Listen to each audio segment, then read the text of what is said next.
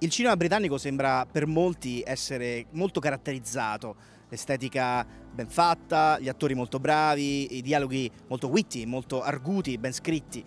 E effettivamente talvolta è vero, perché la scuola, la fucina degli attori, degli sceneggiatori britannici è davvero infinita, lo dimostra eh, Stephen Frears che è un autore britannico sì ma a suo modo in realtà che eh, spesso ha regalato dei film particolari e diversi, ha avuto una carriera piena di variazioni di tono. Con il suo Filomina in realtà si è messo al servizio di una storia potentissima, quella appunto di Filomina lì, Filomena lì, una donna che a distanza di 50 anni, dopo aver tenuto segreto il suo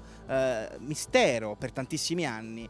vuole a tutti i costi sapere qualcosa in più sul figlio che ha dovuto abbandonare dopo pochi anni di vita eh, a causa appunto della eh, forza maggiore di un convento in cui era stato rinchiuso, perché lei era una di quelle donne eh, vergognose, svergognate che aveva avuto un figlio non essendo sposata. Migliaia di persone effettivamente hanno vissuto questi fatti eh, in un romanzo, in un racconto meglio, eh, in un libro del 2009 eh, che è stato lo spunto per questo film. Si racconta questo, tutto questo e si inizia anche un percorso per molti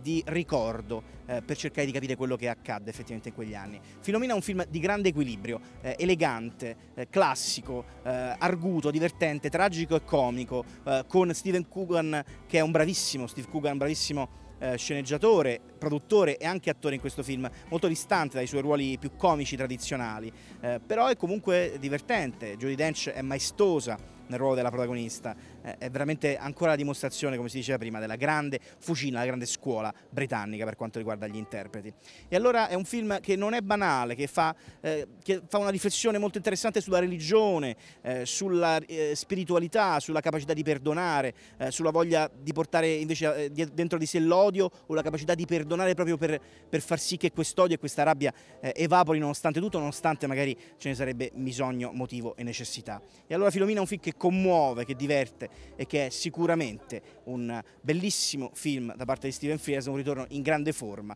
con una storia vera, una volta tanto però equilibrata e molto commovente. Why would God bestow upon us a sexual desire that he then wants us to resist? The thing is, I didn't even know I had a clitoris, Martin. Right.